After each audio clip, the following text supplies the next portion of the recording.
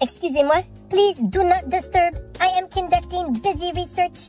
As the canine connoisseur of comfort, I am always searching for the most heavenly sheets for my bed. And I think I found the answer. Belgian flax linen. How divine. And yes, you heard correctly. This is my bed. If you aren't sharing your bed with your four-legged friends, who hurt you? Bonne nuit. Bisous.